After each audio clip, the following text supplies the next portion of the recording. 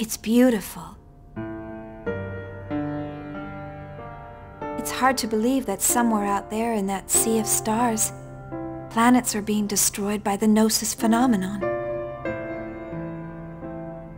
In the distant past, people were forced into space by unavoidable circumstances. 4,000 years since then, they never encountered any life forms they could call neighbors. Just when everyone had given up and assumed that humans were alone in the universe, the Gnosis approached us in order to erase mankind from the cosmos.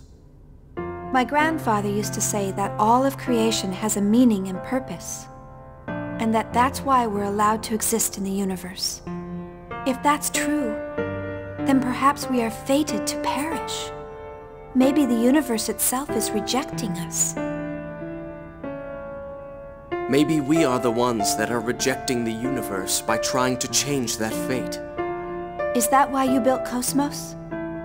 The planet where I was born was destroyed by the Gnosis. I lost my mother there as well.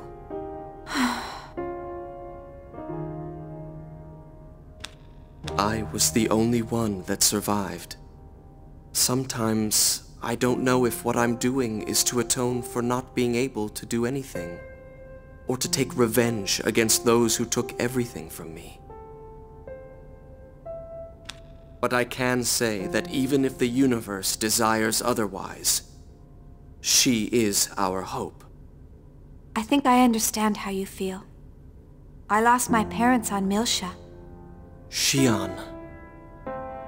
Why am I here? What should I be doing? Where am I going?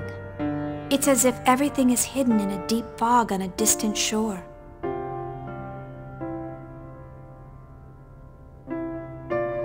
But right now, if that's where hope lies, I want to grant your wish.